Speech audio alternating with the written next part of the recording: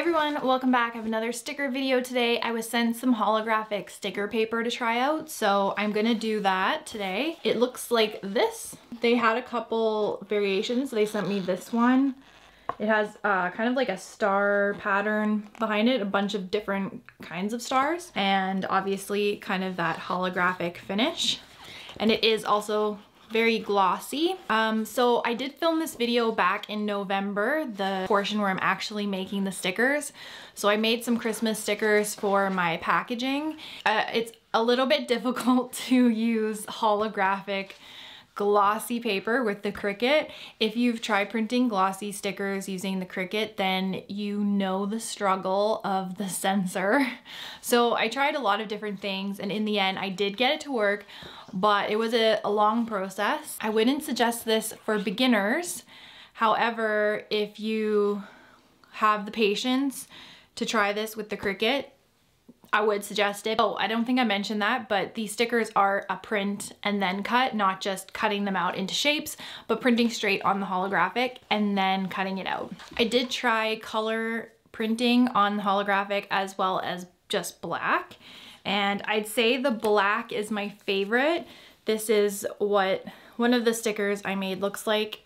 It looks really cool because the black is really opaque the difference between the black and the color is that the color kind of goes on with a bit of opacity, probably like a 50 or 60% opacity, which still has a really cool look to it. But again, the Cricut is very, very sensitive when it comes to a glossy or shiny surface. So I'll show you how I figured it out um, and what it turned out like when I printed and cut using the Cricut.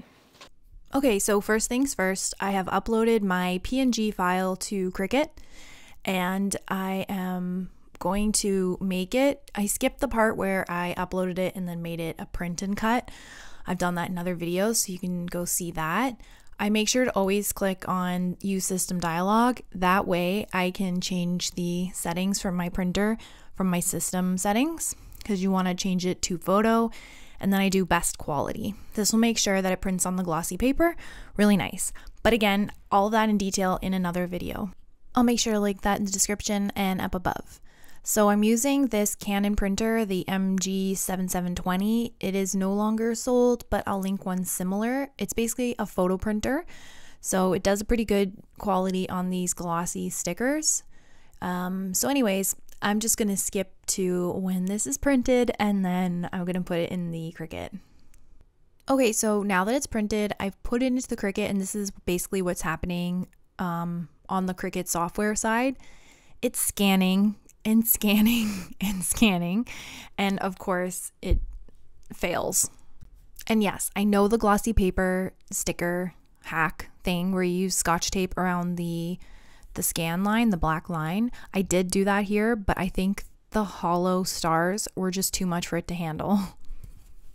So the next thing I tried was actually putting tape on the laser itself. So I tried that first or next by having just the tape on the laser and then I didn't tape the black registration line and that didn't work either. So at this point, I'm getting kind of desperate. I'm Googling tricks. This one was a weird one. I um, printed out the registration mark and on plain paper and then taped that on and it did work but honestly it's just way more effort than it's worth so even though it worked like i wouldn't do it again it's just too much work so the next thing uh, i just flashed that because it was now quarter to five so the sun was going down so this pass that's going in here now is just tape on the sensor and it worked this time assuming because it wasn't bright out. So then i thought yay i'm on a roll. Let's keep doing this with this other design. So i did and surprise it didn't work. So it kind of just felt like at this point it was just luck if it worked or not because i tried it and then didn't work and then i tried it and then it did work so on this last attempt, I put scotch tape on the hollow paper and scotch tape on the laser as well, or not the laser, sorry, the sensor is not a laser cutter. Uh, so where that light is shining out on the Cricut, there is a piece of tape covering that light. And then, of course, also the light, sorry, the tape around the black line. And I don't know if this has anything to do with it, but it is dark outside. And yes, I did try closing the cover multiple times. I was working on this for hours. As you can see, it started out at the morning and then ended at night. Um, but this this seemed to work and that was exciting. But it was the end of the day, so I didn't feel like printing anymore. So I left this for a few days and then came back at a morning time where the light was different and wanted to try what I tried here with a different lighting scenario. And I'm happy to report that it worked the second time when I used the tape on the sensor and the tape around the black line and it was much brighter as it was morning times. There was overhead light, but it still worked. So, if you're going to try this yourself, definitely put a little piece of tape under the sensor. It's a little bit tricky to do. There are some tutorials online. That's how I kind of figured out a way, but it's still kind of tough. And then make sure to put that same matte scotch tape around the registration line, and you should be fine. If it doesn't work still, I recommend trying to close your lid or moving to a place that has a little bit more even lighting. As I mentioned, I actually made these in November to add to my packages for Christmas time. So, this is me uh, packaging up one of my ornaments I make these iridescent laser cut acrylic snake and bat ornaments that are really cute.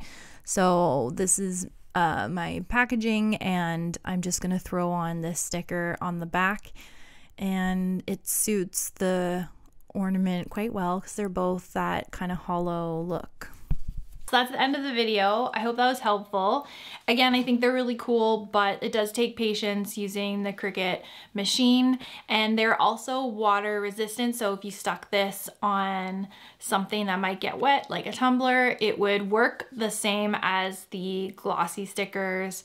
You just have to make sure that you use a photo setting when you're printing so that it prints properly on this glossy paper and it won't rub off.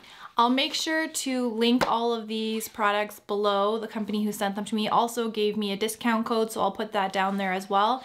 If you have any questions or if there's something you want me to try with this paper or anything else, just let me know. I'm happy to do so, and I'll see you next time.